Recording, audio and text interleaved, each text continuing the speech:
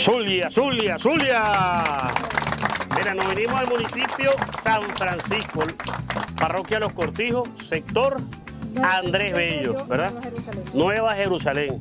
Hace una semana ya activamos este pozo, vamos a darle la inauguración formal, bueno, en ese plan de recuperación, rehabilitación junto al pueblo, junto al Poder Popular. Danos un mensaje a nuestro presidente Nicolás Maduro Moro que ustedes, el Poder Popular, tienen que cuidar este pozo. Ustedes son los responsables, ¿verdad? Con el pueblo, todo. Sin el pueblo, nada. Cuéntanos. Aquí la jefa de VH, Teresa López Bustamante de Ayer Montiel, bueno, un punto y círculo de 11 sectores. Gracias, señor presidente.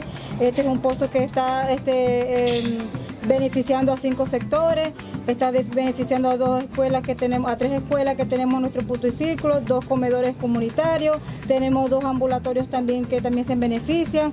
Gracias a esto, bueno, gracias a al presidente Nicolás Maduro, gracias a nuestros ministros, a nuestro equipo también de eh, hidrológica, que es Hidrolago, el compañero aquí presente, la compañera aquí también con, con lo que es de desarrollo de educación.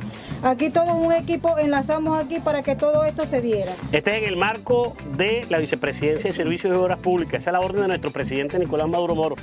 Aquí estamos desplegados los jueves en el Zulia junto a nuestro general en jefe Néstor Riverolo. Ayúdame aquí, pues. Verónica, tú también, que me llamas acá rato.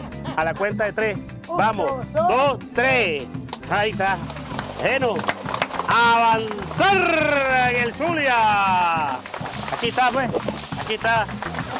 Así que vamos a rehabilitar todos los pozos que tengamos que rehabilitar y rehabilitar también, bueno, nuestra planta de tratamiento, planta B y todas nuestras instalaciones. El compromiso, no solo aquí en San Francisco, sino en todo el estado Zulia. Esa es la orden de nuestro presidente Nicolás Maduro Moro. Nosotros venceremos.